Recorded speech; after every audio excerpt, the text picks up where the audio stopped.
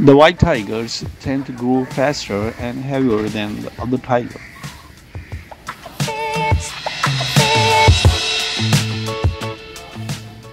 They also tend to somewhat bigger at birth and as fully grown adults.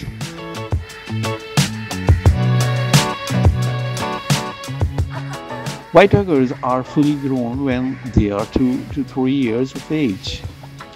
White male tigers reach weights of 200 to 230 kilograms and can grow up to 3 meters, 9.8 feet in length.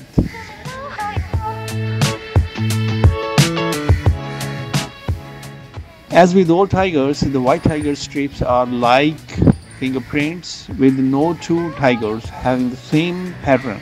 The stripes of the tiger as a pigmentation of skin. If an individual were to be shaved, its distinctive coat pattern would still be visible.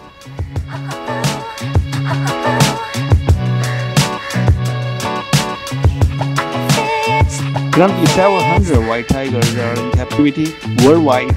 Their unique white color fur has made them popular in entertainment, showcasing exotic animals and at zoos.